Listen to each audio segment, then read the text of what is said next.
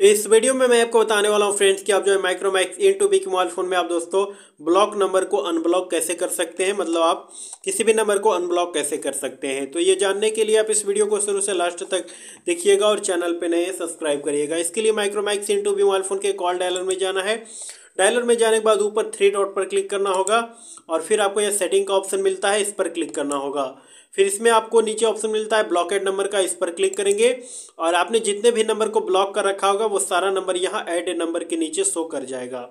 तो देखिए, जो भी नंबर अनब्लॉक करना है, उस नंबर के साइड में आपको यहाँ एक्स का निशान मिलेगा, इस पर क्लिक करना है।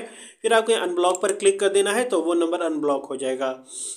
इसी तरीके से फिर अगर आपको अनब्लॉक करना है तो उस नंबर के सामने वाले एक्स के निशान पर आपको देना होगा क्लिक कर, और उसके बाद आपको यहाँ अनब्लॉक पर क्लिक करना होगा तो वो अनब्लॉक हो जाएगा।